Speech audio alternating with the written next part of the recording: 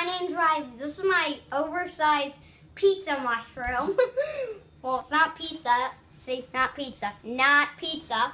It's kind of cool that it has this little curve on it, as you can see. You can look at it pretty close. And it has this cool little pie pizza slice in it. And you can see the, yeah, you can't see the bottom. Now, if you see the bottom down here, it's got this well thing that every mushroom has. And uh, yeah, uh, And how big is it, Riley? it's about 14 inches, as you can see with tape measures, it magically pops up, which is highly unlikely. That was a bit weird. Highly unlikely. About 14, right? Yep. 14. You gotta back up a little bit. Yes. Yeah, it's 14. Good. 14. This is a Yep. giant mushroom. Where did you find it, Riley? Uh, a top secret place that I'm not allowed to speak of.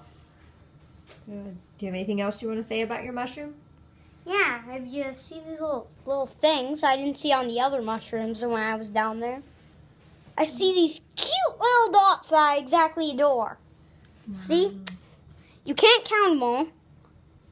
Yeah. Was it under a, a, a spruce tree? No, I cannot tell anything about where I found it, but it's cool that it has this, as you can see here, like this where I'm pointing this thing. Yeah, there's a curve. A nice gentle Show the curve. base of it, Riley. Oh yeah, you can see the base under here. It's pretty cool.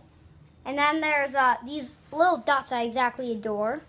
Yeah, I just adore them.